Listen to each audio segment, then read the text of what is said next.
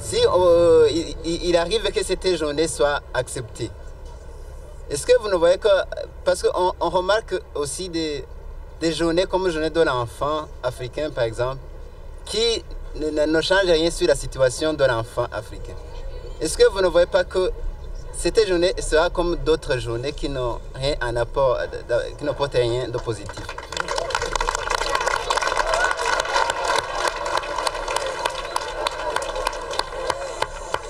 So what do we do? We've got two choices.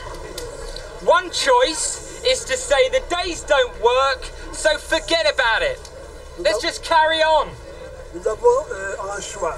On va oublier, laisser tomber tout.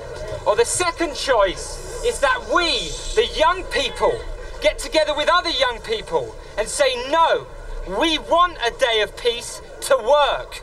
We want a global ceasefire day. We might not get them to stop on that first, at the end of this first year. It might take a hundred years. But if we save one life, then it would have been a worthwhile mission.